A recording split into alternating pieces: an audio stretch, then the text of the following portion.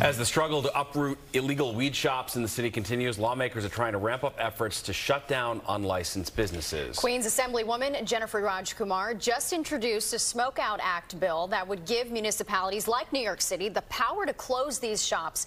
Right now, only the state has the authority to do so. And Assemblywoman Rajkumar joins us now. Thanks so much for joining us.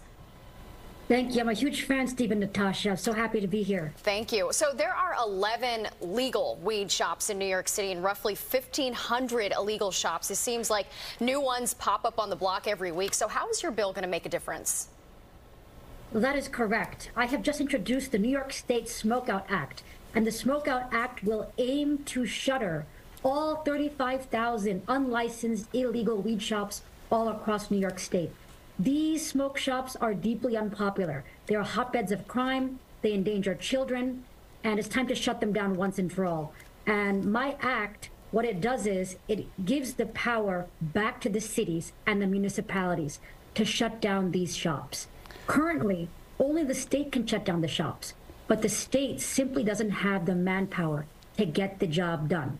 But cities do. In fact, Mayor Eric Adams said that upon passage of my bill, he will be able to shut down all the illegal smoke shops in New York City within 30 days. What about just handing out more licenses and letting mm -hmm. legal weed shops fill the void that clearly exists with all these illegal shops right now? Well, you, you identified the problem, which is that the illegal market has overtaken the legal market. There is only 40 legal smoke shops in the whole state right now and 35,000 illegal ones. So this is a huge problem that needs to be addressed right now. But is, not that the state's fault, the fact that there's that few licenses at this point, this far into the whole situation?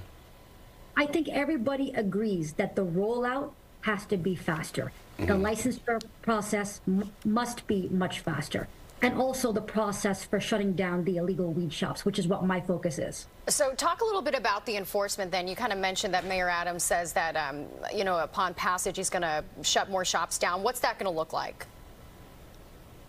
It's going to look like a huge relief for all of New York City.